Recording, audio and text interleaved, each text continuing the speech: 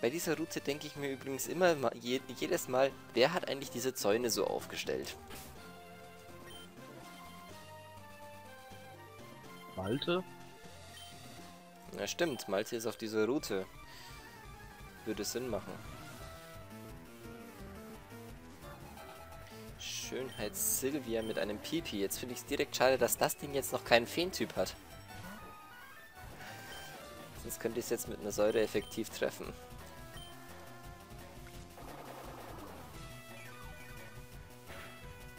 Musste gerade an, an die Unterhaltung mit Don Marcy äh, denken, den Pokémon ab 18. okay. Der Säure. Dann hat das, wenn du Säure auf BP einsetzt, dann hat das dann was von, von so einem schmelzenden Gummiball. ja, jetzt hätte ich eigentlich Fight mal reinschmeißen können. Tja, gut. Dirki darf jetzt auch erstmal wieder. Wobei, Dick kriegt jetzt demnächst noch ein paar Gelegenheiten, weil gerade oben auf der Schweigebrücke gibt es einen Haufen Angler.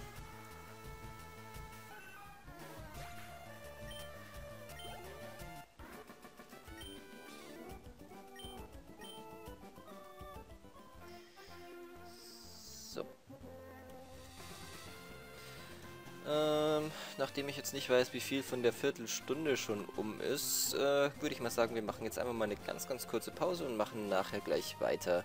Ich halte die Aufnahme hier jetzt einfach mal an. Okay. So, da sind wir wieder. Ich war in der Zwischenzeit Mittagessen und wir machen hier jetzt einfach weiter. Mit dieser Picknickerin. Picknickerin Tabitha, die heißt genauso wie mein Monk. Tabita. Ja. Müssen wir bloß aufpassen, dass sie den Tabi-Tank nicht auspackt.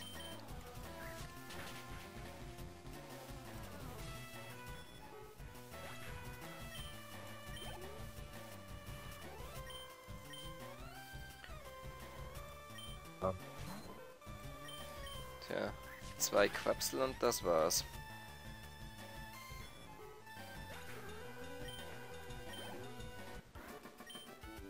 Denk dran, Quapsel sind die beste Verstärkung, die du haben kannst. Ja, ja. Ich weiß. Moment mal, war. Äh, da müsste ich hier vielleicht, ne? Ja.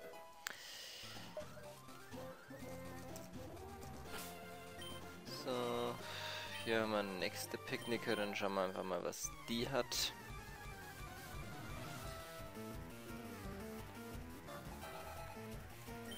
Ein Taubsi. Level 27, das werde ich wahrscheinlich nicht ganz one-hitten können, aber... Okay, macht eh nur einen Ruckzuck-Hieb.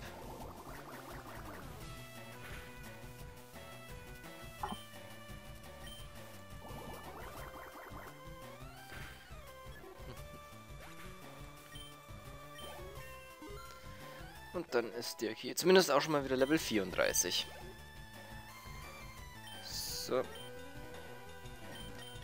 jetzt mit dem Fight weiter. Der kriegt die meisten Flug-Pokémon ja zum Glück auch noch einigermaßen gut verkloppt.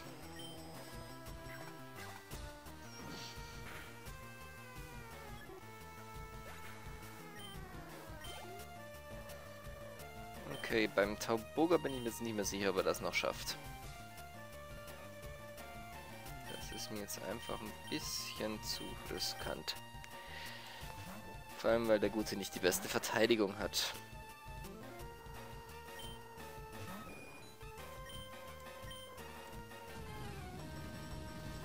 Da gibt es jetzt lieber äh, ja, gegrillte Taube. Gegrillte Taube ist lecker. Hm. Konchan ist Level 36. 101 Angriff hat der jetzt schon. Obwohl, nee, das war keine Taube, das war der Wachtel. Wachtel ist lecker.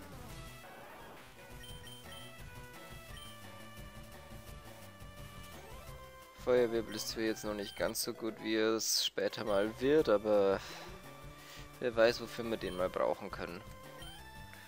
Mauzi.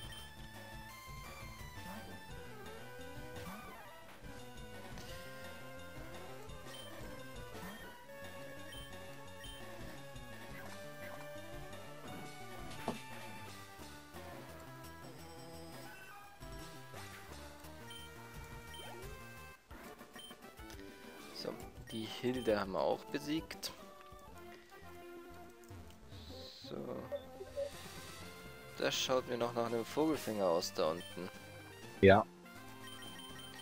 Ich schmeiße einmal meinen Fight nach vorne und hoffe, dass der nicht irgendwie sowas wie ein Tabuga oder Ibizak hat. Weil da müsste ich raus. Okay, der hat viele kleine.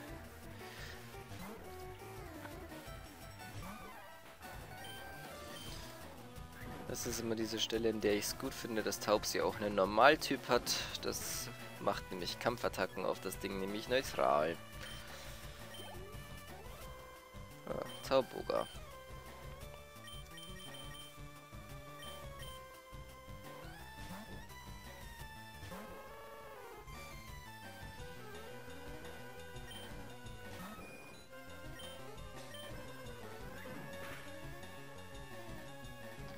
Die kritten heute schon wieder so oft.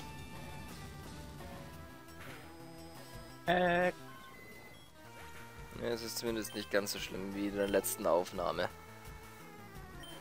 Da war ja nur noch Crit, Crit, Crit, Crit.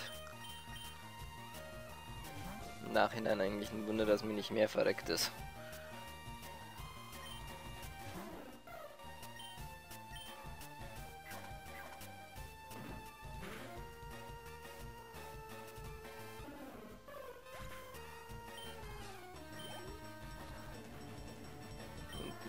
Er auch noch.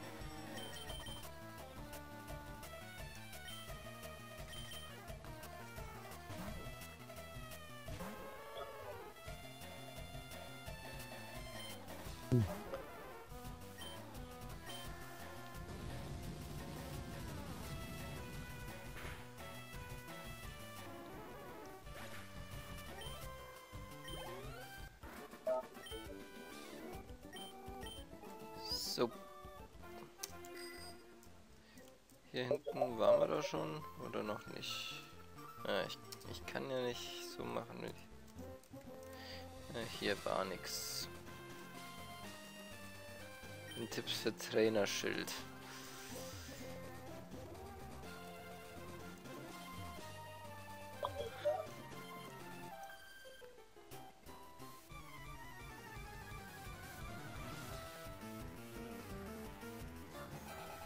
Schönheit Lola. Einem Radfratz. Das schon längst ein Radikal sein könnte.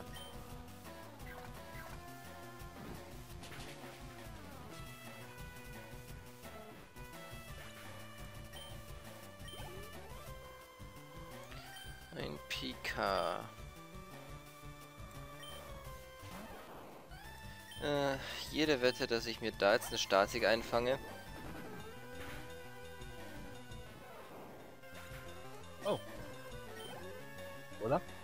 Kommt das noch? Nein. Nee, kommt doch nicht, okay. Normalerweise kriege ich immer die Statik, wenn ich auf sowas drauf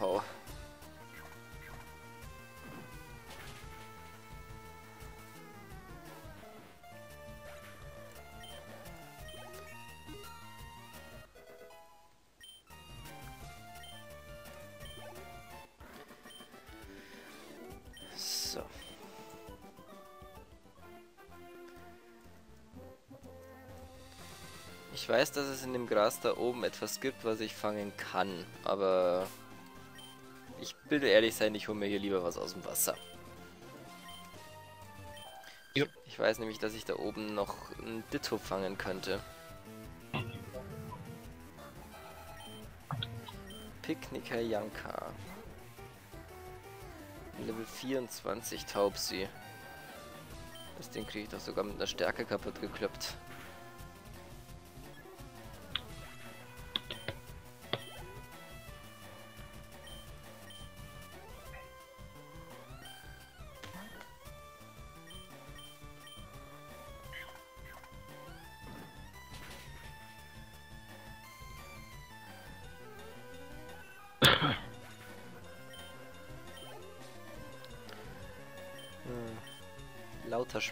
Verstärkungen hat die hier? 24. Fight krittet hier alles weg.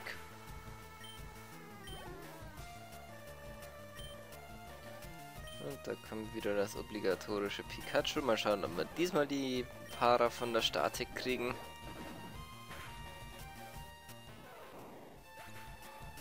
Ja, diesmal haben wir sie.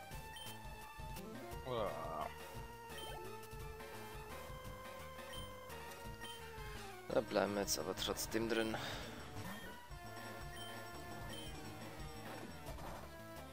Herzlichen Glückwunsch. Du machst wahrscheinlich die einzige Attacke in deinem gesamten Set, die, die nicht effektiv ist.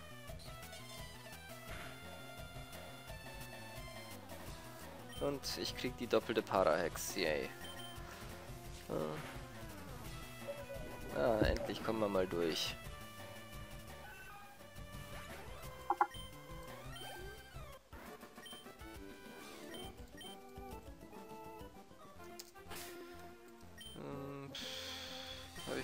Zufällig ein Paraheiler dabei. Ja, ich habe noch drei Stück.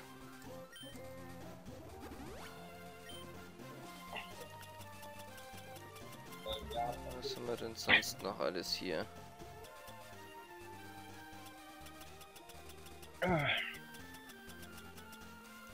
Was machst du denn? Paraheiler suchen? Nee, super. Ich muss mal hier ein bisschen was auffüllen.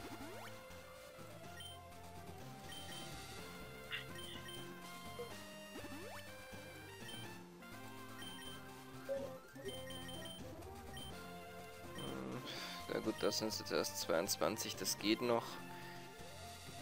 Ja, hier sind es 21, das lassen wir mal noch so, wenn es ernster wird. Das ist doch auch wieder ein Vogelfänger, oder? Ja. Vogelfänger Eilmar mit einem Taubsi.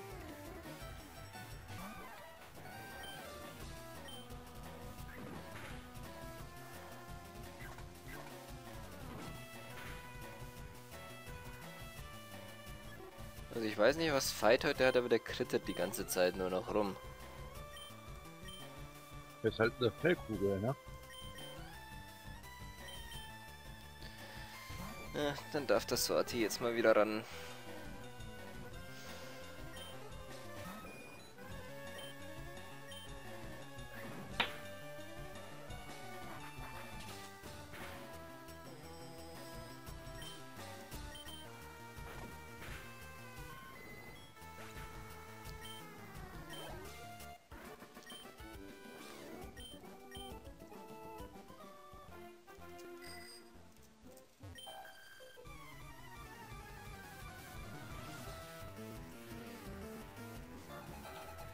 Picknicker Kirsten.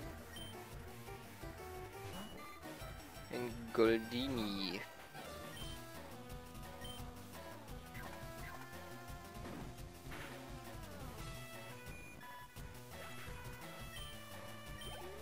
Sechshundertsechsundsechzig Erfahrungspunkte hat das jetzt gegeben. wow. Dieses Goldini war des Teufels. Antichrist. Der Antichrist mit der Pornostimme. Sepa, ja, auch wenn das ein Level-Up für Fight wird, aber Sepa will ich jetzt lieber mit Dirki machen. Der kann das nämlich besser. Oh, ein Sepa. Einmal weil man kann es einfach mal wissen. Sepa hat eine relativ gute Def und eine ziemlich bescheidene Spätz-Def. Da haut man immer lieber speziell drauf. Weißt du, was mir gerade eingefallen ist? Hm, was denn? Ich habe die Aufnahme, also die äh, Folge noch gar nicht hochgeladen. Ja, heute ist Sonntag. Ja, es war ein bisschen... Ja, bei meinem Bruder das ist ein bisschen durcheinander hier. Also nicht durcheinander im Sinne von, dass es hier durcheinander ist, sondern äh, egal. Oh nein, ich habe den wieder erwischt.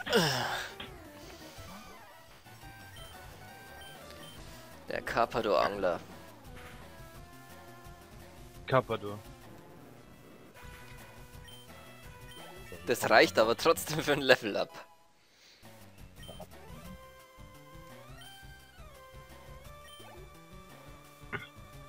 Und noch ein Carpador. Fahrrad.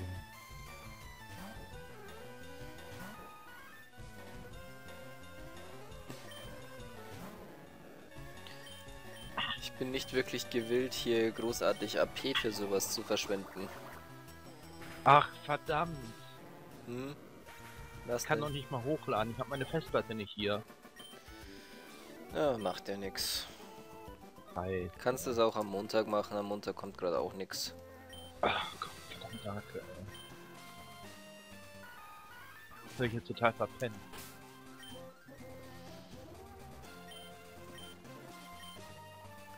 So, langsam kommen Fight und Dirki auch wieder hinterher mit dem ganzen Leveln und so. Ein männliches Nidoran. Also, die Wetten laufen. Wie, wie hoch ist die Wahrscheinlichkeit, dass ich vergiftet werde, wenn ich ihn angreife? Na gut, es sind 30%. Aber die Wetten laufen. Oh, es ist nicht passiert. Aber dafür jetzt bei diesem Nidorino.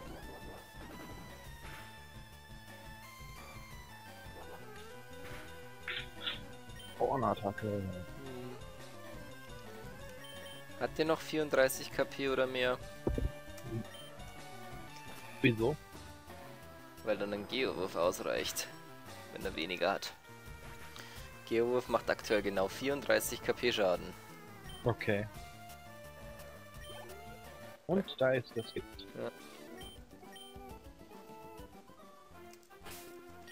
Habe ich noch Gegengift dabei? Später. Ja. Also, ich habe gerade meinen Bruder beabtrapiert und der ist eben weg. Eisen. Nee. Das ist... Ah, ja, das ist der Elektriker jetzt. Elektriker und Vogelfänger haben ja hier denselben Sprite. Ah, nee, das ist sogar ein Rocker. Okay. Egal, hat beides Elektro-Pokémon. So. Nachdem wir jetzt Giftern und Statik schon mal hatten, hier kommt die nächste Statikquelle.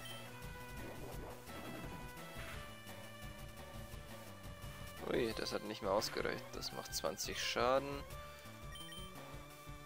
Oh, das war eine Premiere. Das war jetzt eine Premiere. Das ist das erste Mal, dass er mit der Attacke daneben gehauen hat. Und das äh, wurde eigentlich auch langsam mal Zeit. Echt?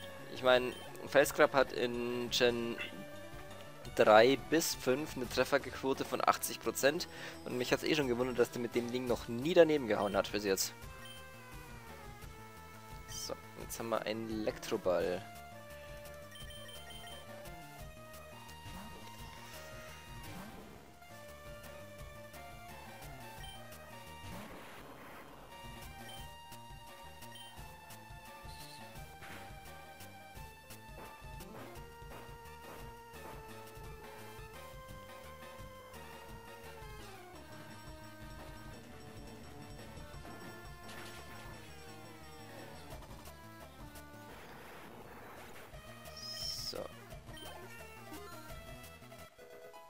Da gibt es ein Level-Up für dich.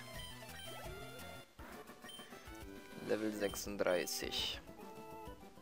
Nee, ist es. Ah, und da gibt's die Angel, ne? Ja.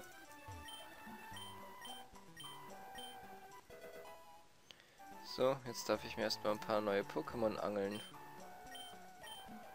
Ein paar? Ja, jede Route 1. Und hier auf Route So. 12 habe ich noch keins.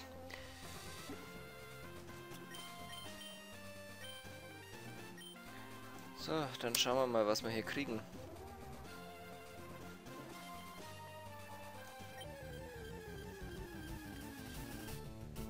Ein Krabi. Oh, Äh, Krabi. Das Ding hat schon über 15. Ja, hat schon über 34 KP, wenn ich mich jetzt nicht täusche. Das sollte ihn nämlich nicht umbringen.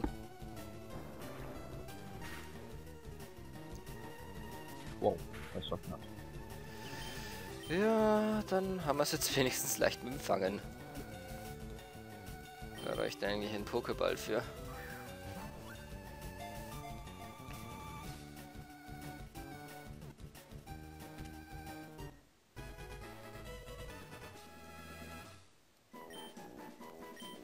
So.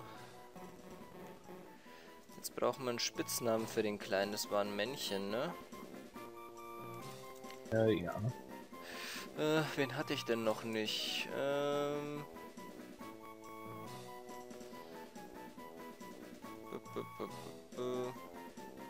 Ach, ich, ich nenne ihn einfach Dante. Dann haben wir noch jemanden aus der Gilde. Dante das Krabi. Hm. Was irgendwann mal zu einem Kieler werden kann. Ja. Kann schon passieren.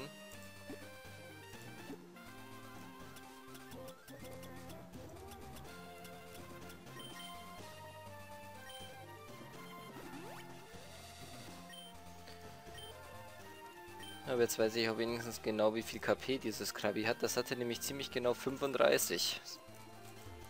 Okay. Hm. Das ist ja So. ziemlich Glück gehabt. Ja, aber Level 15 hat normalerweise schon rund um die 40 KP.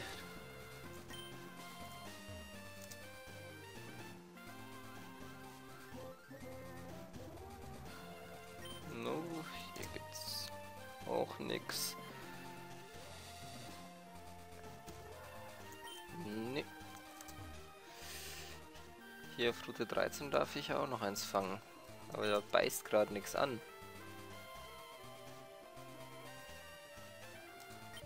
Da haben wir was. Schon wieder ein Krabi. Habe ich schon.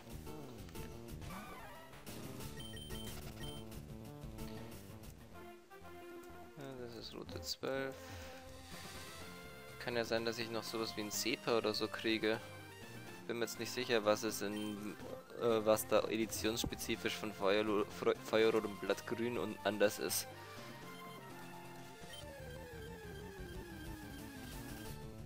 Zur Not, äh... Oh, das Ding ist Level 32.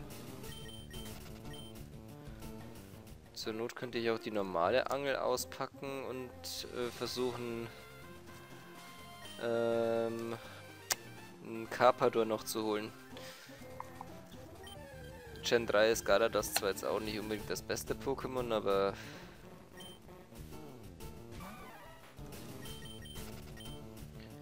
Hm. Ich glaube, hier erwische ich nur. Probieren wir es mal mit der Profi-Angel. Vielleicht haben wir damit mehr Glück. Könnten ein paar andere Pokémon kommen. Ja. Ja. Ja, ne? Hm, schon wieder ein Krabi.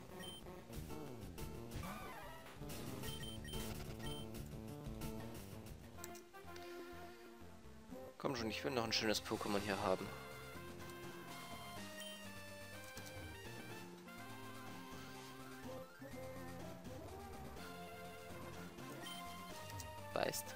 Nichts an.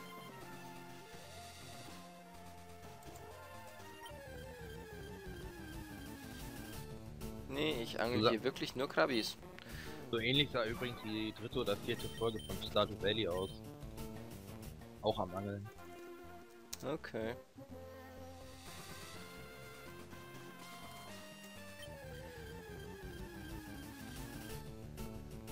Hier gibt es tatsächlich nur Krabis, oder?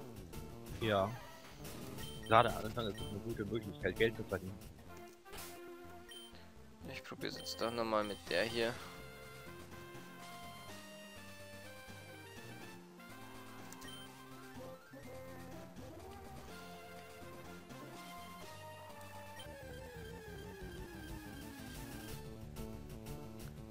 Ne, nur Rabbis. Mr. Krabs, Mr. Krabs, Mr. Krabs. Na gut. Dann versuche ich das irgendwann anders nochmal.